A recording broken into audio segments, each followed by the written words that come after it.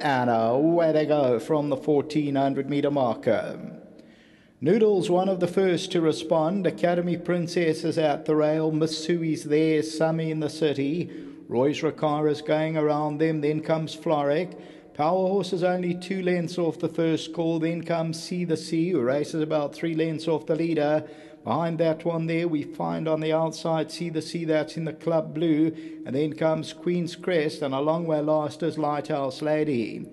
So as they go to the 600 meter marker, three abreast, some in the city. The red blinkers in the middle is Roy's Riccara. Florix on the outside.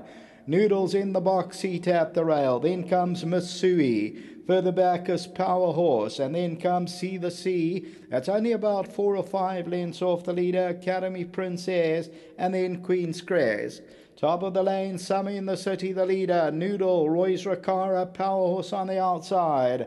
On the inside of that run, getting to the race is See the Sea. Summer in the City still leads it, but now Noodles on the outside. Queen's Crest needs some running room. Power Horses in trouble, and yes, See the Sea, a big runner on the outside. And See the Sea comes at Noodle over the last hundred meters, and See the Sea takes it up. Noodle's fighting right back. Noodle and See the Sea, but Noodle came back for more from See the Sea and Summer in the City.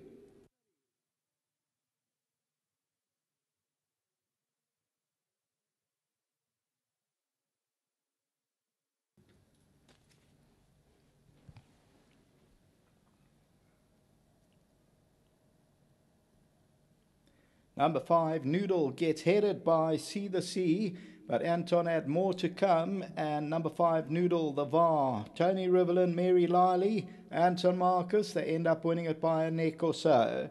Second, number seven, See the Sea, moved out and made up the lengths and then gets in front, but Noodle comes back for more.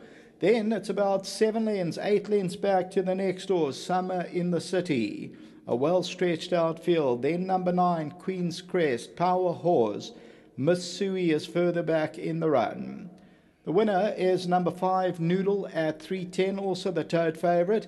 And yeah, see the sea with the blue. Powers need to check and come in, but at this stage, Noodle and See the Sea, they have a good tussle, but Noodle comes back for more, and Noodle wins it by a neck from See the Sea. Toad favourite, the winner number five, until the seventh and last race, back to the studio.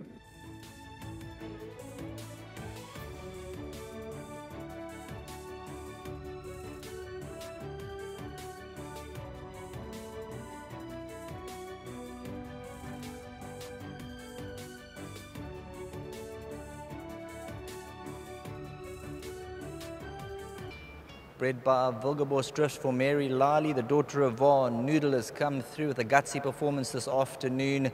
Last time out, didn't seem to enjoy the sticky conditions? Um, yes, not only that, um, obviously her form suggests that she's better on the poly. Um, but we, we ran her there because it was a, didn't look like a greatest field. But anyway, that's the past. Uh, she won a gutsy race today. Masterful ride from Anton. Um, that's where he is, where he is today. Um, very strong under the saddle. Um, we don't leave much instructions to him and uh, placed her well from the draw.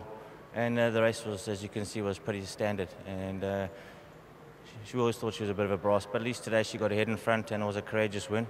Um, well done to Mrs. Lally. Um, she couldn't make it today. She's got family over from the UK, but big, well done. And then obviously well done to Tony and all the team back home. Keep up the hard work. Yeah, thanks very much. Well done to Terry Fripp, the Tony Rivalland outfit, this daughter of VAR owned by Mary Liley, has shown a lot of guts today. See the sea moved up, headed her, and Noodle Anton Marcus coming back for that last bite.